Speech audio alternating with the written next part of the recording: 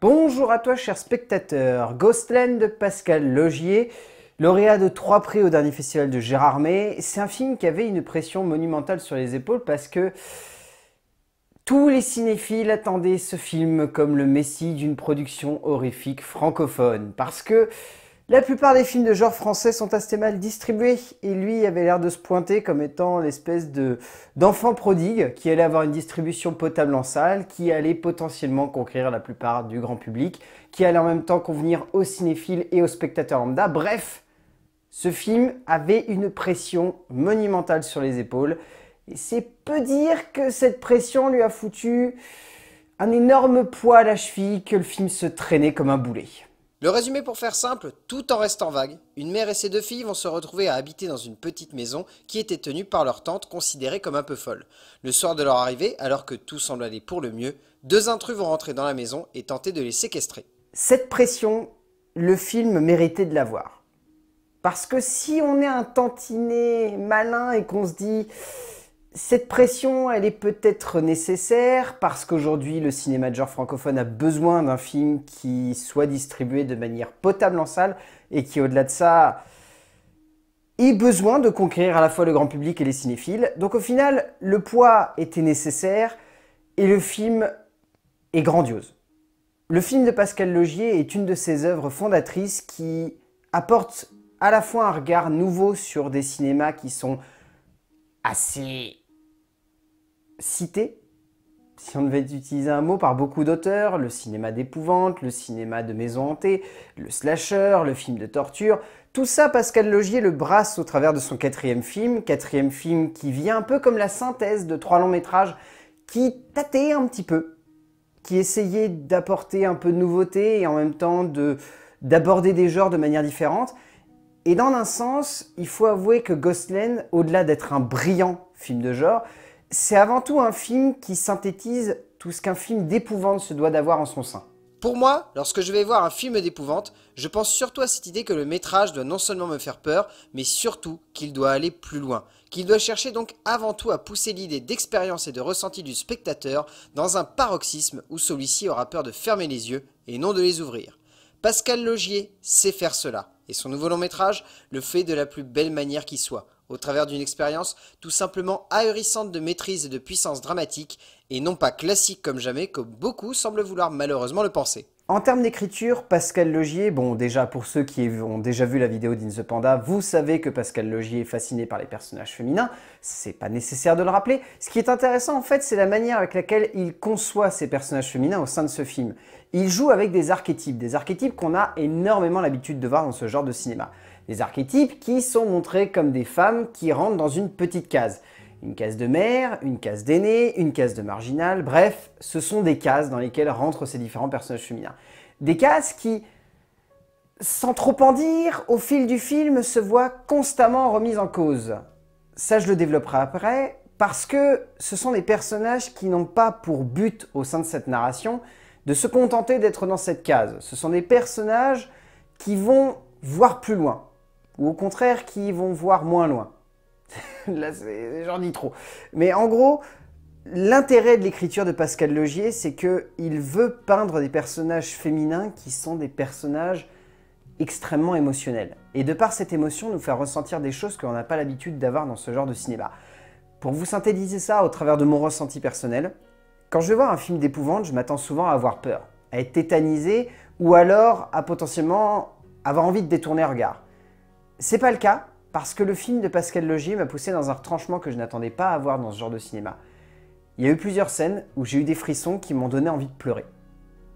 Pas de pleurer de peur, pleurer par peur pour les personnages. Parce qu'on atteint un stade dans le film de Pascal Logier où, où on se remet en cause au point de se, de se mettre vraiment à la place de ces personnages, d'avoir une introspection totale. Et cela, on le doit également à la place de la narration dans les films de Logier c'est difficile de ne pas risquer de trop en dire et donc de gâcher la surprise. Mais en gros, pour vous remettre dans le contexte de la dimension de lecture du film, la narration et la dramaturgie changent constamment de pied sur lequel se tenir, ce qui permet à l'ensemble de ressortir comme en constante évolution. La narration n'est jamais figée, à l'image de cette famille. Elle ne s'arrête jamais comme l'esprit d'un enfant, amenant de fil en aiguille cette idée que les personnages ne peuvent s'arrêter, ne peuvent se figer dans l'espace ou le temps, mais choisissent d'avancer ou de se réfugier, comme si finalement, ce qui se devait de ressortir de cette écriture, c'est une vision sensorielle du genre et non pas simplement une idée de concept. En termes de mise en scène, je vais tout de suite mettre de côté les gros points négatifs, qui sont la manière avec laquelle Pascal Logier amène ses références. Les références que fait Logier dans son film sont pas du tout subtiles. Lovecraft, qui est constamment cité, Shining, qui est présent dans plein de scènes, même ses collègues Bustillo et Moré au travers de Aux yeux des vivants, ils les citent directement. Logier n'est pas subtil dans ses références. C'est vraiment le gros point noir du long métrage.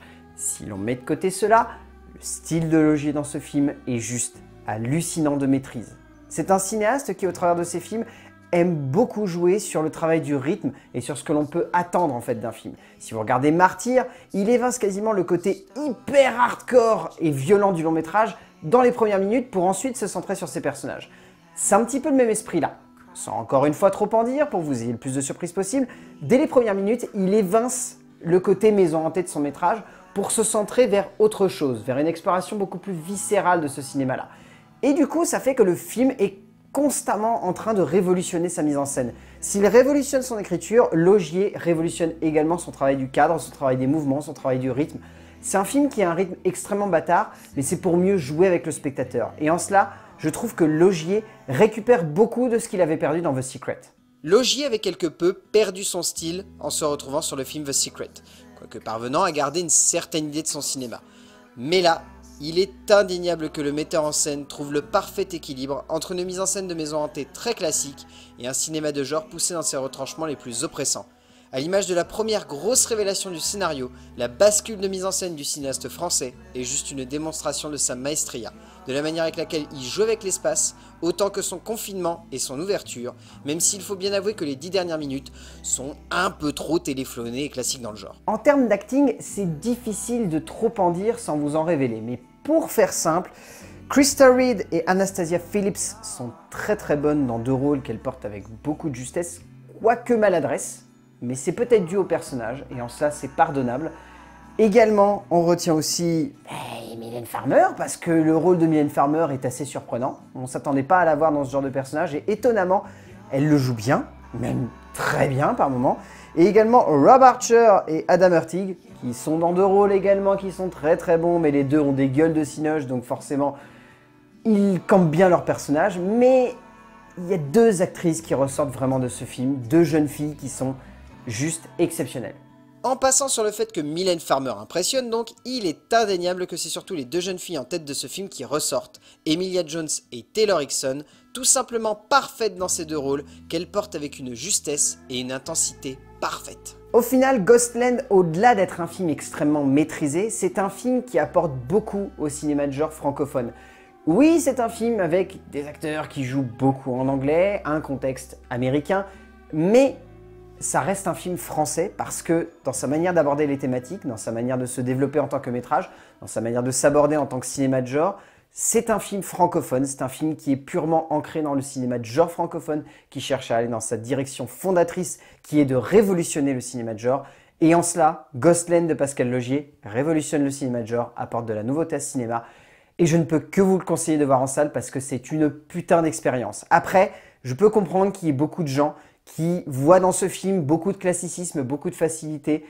Ces gens-là, je ne peux pas leur donner tort, mais si vous mettez de côté cela, vous allez voir un film qui va vous retourner la tête et qui va vous embarquer dans une expérience où vous allez ressortir avec les larmes aux yeux et les poils complètement hérissés.